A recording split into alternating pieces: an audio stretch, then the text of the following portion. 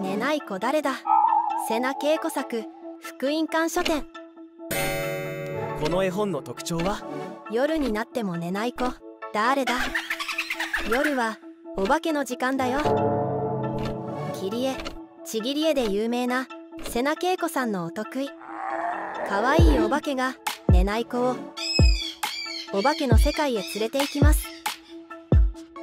読み聞かせのアドバイス大人の手のひらサイズでベッドで読むのにも最適。寝かしつけにぴったりの絵本です。